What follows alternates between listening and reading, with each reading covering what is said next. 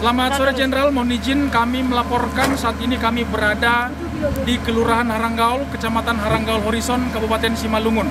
Saat ini kami berada di lokasi titik tempat terjadinya longsor tanah yang mengakibatkan tertutupnya seluruh badan jalan. Kejadian ini terjadi pada tadi malam jam 9 malam.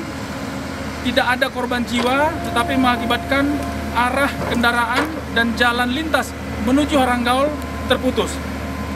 Ada dua titik lokasi yang mengakibatkan jalan menuju Haranggaul tertutup oleh longsoran tanah. Pertama di titik kami saat ini berada, yang kedua adalah kurang lebih sekitar 3 km dari titik kami ini. Dan pada sore hari ini alat berat dari pemerintah Kabupaten Simalungun telah turun dan telah bekerja untuk menggeser dan menyingkirkan tanah-tanah yang menutupi badan jalan.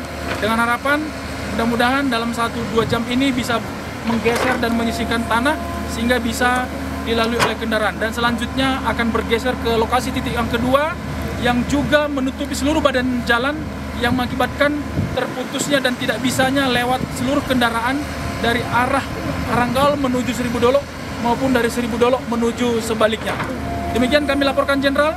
Kami saat ini bersama Pak Camat, Pak Kapolsek, Pak Babinsa, Pak Kepling dan dari Dinas PUPR Kabupaten Simalungun terus melakukan upaya-upaya untuk membersihkan tanah longsoran ini sehingga dalam waktu sesikat-sikatnya bisa dilewati oleh seluruh kendaraan dan tidak menghambat mobilisasi manusia dan kendaraan yang akan keluar dan melewati dari lokasi ini. Demikian kami laporkan Jenderal dari lokasi tanah longsor di Kelurahan Haranggaul, Kecamatan Haranggaul Horizon, Kabupaten Simalungun. Terima kasih, Horas.